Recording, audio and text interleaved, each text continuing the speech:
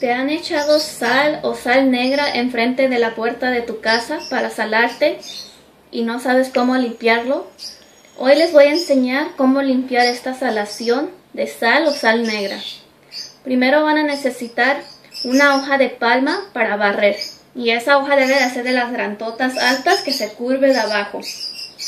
Y eso es para traer mucha prosperidad a la familia. Van a necesitar romero, amonia de limón, tres limones cortados en forma de cruz, tres trozos de canela triturados con la mano y agua hirviendo.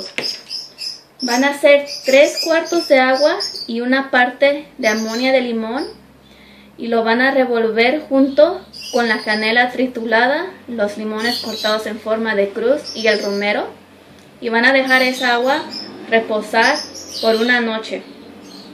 Van a echar agua hirviendo primero donde echaron la agua y después van a barrer con la agua que prepararon y la palma y van a barrer siempre hacia afuera.